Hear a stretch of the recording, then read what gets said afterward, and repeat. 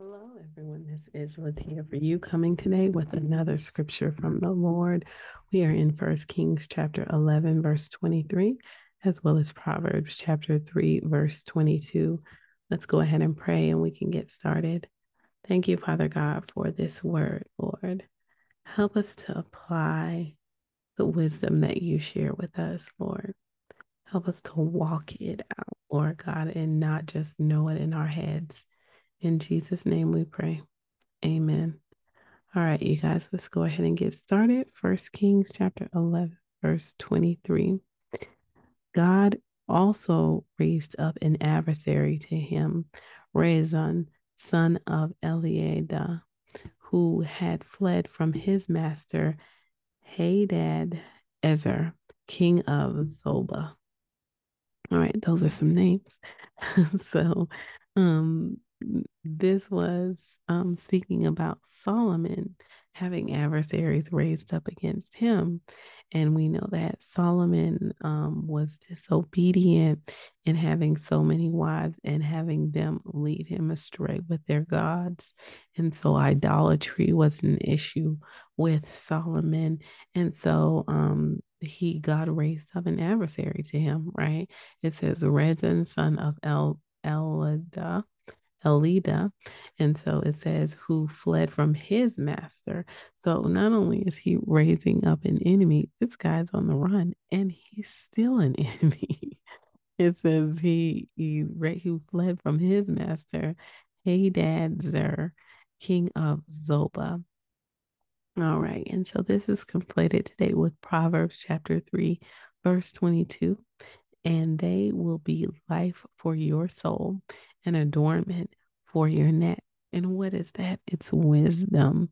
You know, um, most of Proverbs is attributed to Solomon.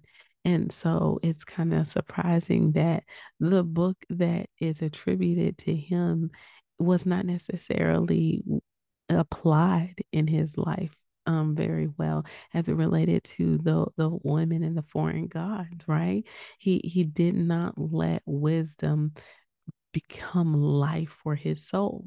He did not adorn it around his neck, or else he would not have gone to strange and foreign gods and built up all those altars to them, right? So it, it's the the thought that yes, you might know the wisdom, but you have to be able to apply it, right? It has to, in order for it to make you free, um, you need to be able to apply it in your daily life, walking it out, not just knowing it and, and seeming wise to everyone in the world, but having enough wisdom to be able to draw the line and say, This is where um, I know that God wants me to be, right? For God I live and for God I die.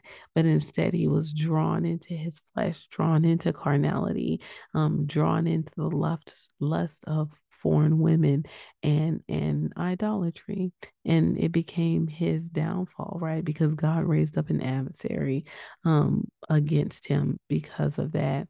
And it says and and the the wisdom scripture proverbs chapter 3 verse 22 and they will be life for your soul and adornment for your neck. Wisdom wisdom. We need wisdom lord not only give us wisdom, but help us to learn practical ways to walk it out and actually do it, Lord God. Help us to live a life of wisdom and not just speak about wisdom, God. We love you and we praise you. We give you glory and honor. It's in Jesus' name we pray. Amen. All right, you guys. May the Lord bless you and keep you.